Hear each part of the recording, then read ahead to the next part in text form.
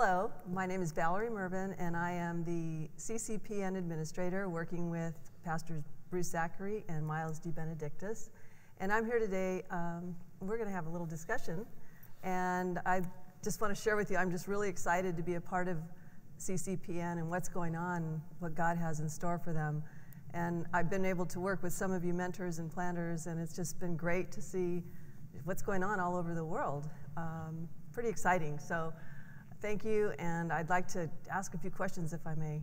Um, let me start with by the fact that I came in about four or five months ago, I'm not uh, privy to all that went on in initiating the movement with CCPN. So, can you tell me where it all started?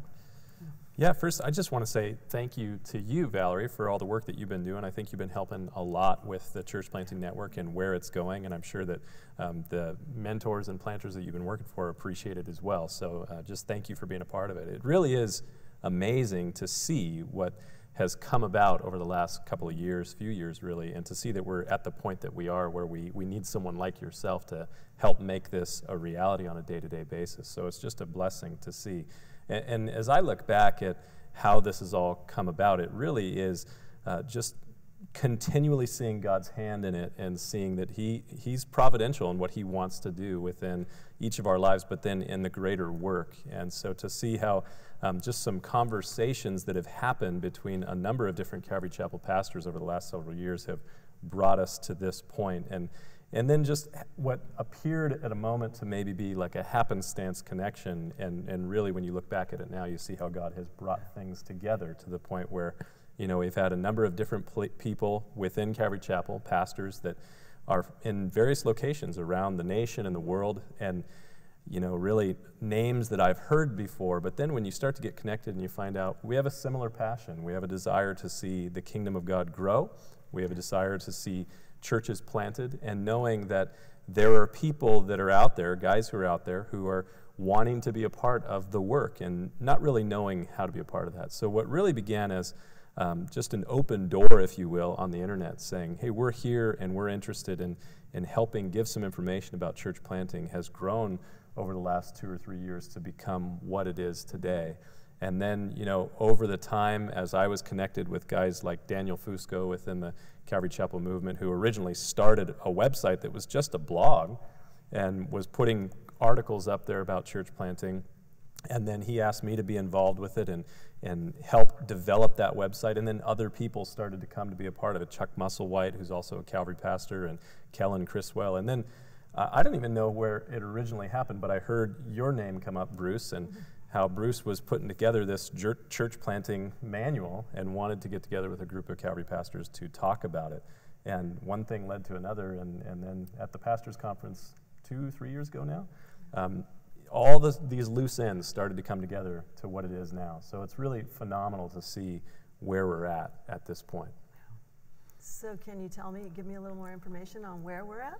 Sure. Currently? And I just want to affirm as well as Miles did, Valerie, it's just been such a blessing having you involved. I've been privileged to work with you for years, and, and, you're so capable and so competent, such a gifted administrator. And as the church planting network has grown, that need to establish greater infrastructure, and, and we're just grateful as directors for your involvement. And I know the guys who are involved are going to be exceptionally grateful to work with you. Well, uh, in approximately 16 months, we currently have almost 500 people involved in the network. There's about 350 prospective planters. There's 150 Calvary Chapel pastors serving as mentors. Uh, we use the Church Planting Network Training Manual, uh, the Church Planter Training Manual, as a resource to give guys an understanding of uh, who should plant a Calvary Chapel, uh, what Calvary Chapel is all about, why we need to plant churches, how, some best practices, and some really practical lessons and, and some fundamental teaching tools to equip guys to be more effective church planters. And so today we have seen almost 500 guys involved, and we are blessed to say that at the end of one year, we saw over 40 Calvary chapels started that are now having weekend services that are meeting independently healthy churches. And that's exciting because we realize that, in essence, it's the tip of the iceberg of what God is doing. And so today we're excited and we think as uh, we continue, that it's going to be even better. Mm-hmm. So, with that, where do you see us going from here? Well, I would say aside from um, seeing more churches planted and uh, more uh, celebration of those plants going on throughout the church planting network, I think that what we're seeing happen right now is that the, the vision is continuing to uh, infiltrate, if you will, a lot of other places. I think there's more and more people who are recognizing that, um, number one, there are potential planters out there that are saying, I'm interested in planting churches. But there are a lot of Calvary Chapel pastors who they've had a heart to mentor and disciple and raise up church planters, but didn't necessarily have the railroad, if you will, to go down it. And I think for the first time, they're starting to see that there are people who've, who've thought through it and who have put some, uh, some real clear at least steps in place to help them move in that direction. So I think in the, the near term, we're just going to see a, a, continued move of that vision spread out. And just doors are opening in, in a great way. I mean, we're now, uh, we now have a class that's being taught at the Calvary Chapel Bible College in Murrieta that is, you know, taking exactly what we're talking about in the network and sharing with students there about church planting. And we have people there that are passionate about it. And then uh, we're having conferences and regional meetings come together. And maybe you can share a little bit about some of the things that are happening with those. Yeah, one of the things that's really exciting is, is uh, as you contemplate the idea of the pillars that make a, a church planting network, the ability to recruit planters, prospective planters, the ability to recruit mentors. And we've seen an incredible influx, uh, inflow of people getting involved already. Mm -hmm. And that's just going to continue to expand we feel that we have a, an effective resource to train the people, as you got to hear Pastor Steve share in an earlier interview about the effectiveness church planter training manual, and we have an abundance of resources available on the site. They've got the capacity to train.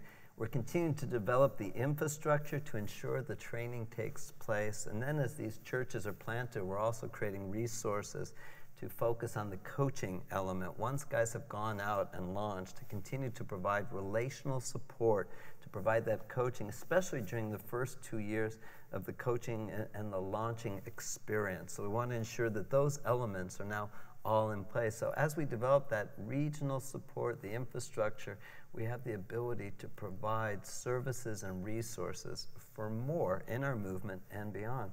And as uh, Pastor Miles was alluding to, we already have 11 regional conferences uh, scheduled for this year, not only in the United States, but internationally. And for the first time, we're going to have a multi day CCPN conference that's being held at Calvary Costa Mesa. Our first conference took place in October 2012, and that was really the birth of CCPN in its current form. And that took place at Twin Peaks, and it was a wonderful gathering. But this year, uh, Calvary Costa Mesa, we expect it to be an extensive and expanded opportunity to promote and, and make this ministry known within our movement. We've been blessed that Pastor Brian Brodersen will be speaking about spiritual empowerment. Pastor Skip Heitzig will be speaking to uh, the issue of how to train church planters to teach the Bible effectively. Pastor Lloyd Pulley of Calvary mm-hmm. Chapel, Old Bridge in New Jersey, will be coming out to talk to us about how to make disciples, not just converts, but how to make disciples. Uh, we're also blessed to hear from Pastor Tom Stipe, one of the pillars in the Calvary Chapel movement, about what Calvary Chapel is all about, the philosophy of ministry, and what makes us distinct in terms of our core values and DNA. And we understand that Pastor Bob Coy from Fort Lauderdale is likely to come out to talk to us about evangelism. And so these are, are some incredibly dynamic and gifted speakers speaking to the issue in our movement. So we're excited to see the mm-hmm. future and we're looking forward to being involved with you and, and continuing to grow together and, and looking forward to serving with you guys. Yeah. It's exciting. I mean, it's really exciting to receive the update, and I feel privileged to be part of this and just see what God is doing and the new work throughout the United States and as well as around the, uh, the world.